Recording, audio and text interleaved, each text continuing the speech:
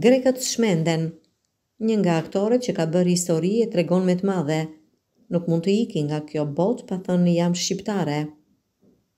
E kush nuk është dashuruar me Penelopën e bukur greke? me atë fytyrë të gdhendur mesdhetare që për besnikërinë ndaj dashurisë së saj thurte e çthurte pëlhura për njëzet vjet me radhë. Sepse e tillë është dashuria. Ajo i mbijetoi viteve me forcën e saj. Edhe nëse letërsia greke na ka sjellë imazhe femrash si Helena që shkaktoi një luftë për dashurinë, historia e Penelopës na ka magjepsur me besnikërinë e saj. e interpretuar prej një prej artisteve më të njohura greke, një legjendë me emrin Irene Papas. Ky rol është gdhendur në historinë e botës. Kjo figurë e bukur femërore, e fortë, me ato sytë e thellë që tregojnë vuajtje dhe bukuri njerëzore, është gdhendur thellë në memorien e çdo njeriu që njohu moralin e jetës nëpërmjet kinemasë.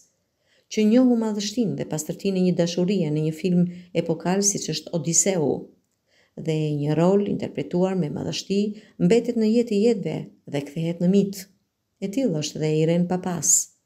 Deklaratat e saj të fundit të kësaj dive të madhe dhe të papërsëritshme të kinemasë që me karrierën e saj u kthye në një legjendë botërore me të vërtetë të bëjnë përshtypje. Nuk mund të largohem nga kjo botë e të mos them të vërtetën se unë jam shqiptare, ka deklaruar diva e kinemasë. Emri i saj i vërtetë është Iren Leleku dhe se origjina e babait të saj ishte shqiptare. Nëna ime ishte nga Epiri dhe babai nga Shqipëria. Ai ishte një mësues letërsie dhe urrente priftërinjtë, ka deklaruar diva në biografinë e saj.